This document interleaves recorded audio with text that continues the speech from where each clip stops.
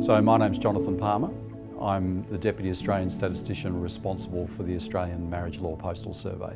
We've got 99 days in which to survey over 16 million Australians. The biggest thing that's come through this is our senior managers.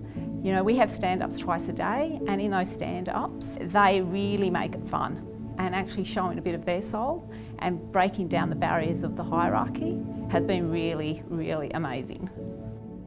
So one of my favourite memories is actually starting the Agile methodology stand-up meetings and actually getting into the rhythm of that with a lot of humour and fun but also seriousness around what we need to do and the challenges that we're all facing to get there. I think the Agile framework has a lot going for it within this type of project where it's time limited, uh, a large number of interdependencies and a large number of people working across different aspects and where people need to get a good understanding of the cadence and the pace that we require across the entire project and, and the delivery of key milestones. Agile's about, it's about working in ways that are, are, largely common sense. Um, it's about introducing a high degree of transparency into the work that, that you do and so uh, through our Kanban boards we're visualising our work and that's an important part of uh, that transparency piece.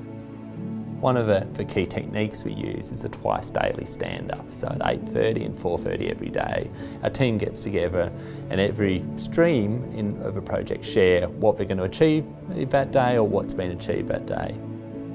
It's really focusing on the day, what we're going to achieve and in such a fast-paced environment, it's such a critical way to organise ourselves and make sure we're going to achieve our outcomes.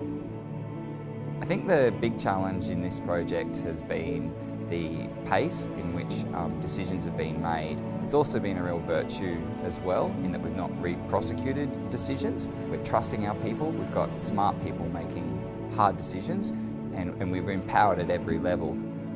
A project like this in a really tight time frame requires a lot of effort and energy around focusing on people's well-being and so one of my learnings is when you think you've done enough on people's well-being and supporting them, you've probably only just started to be doing enough. The vibe and the enthusiasm and the dedication of this team just makes it something really special.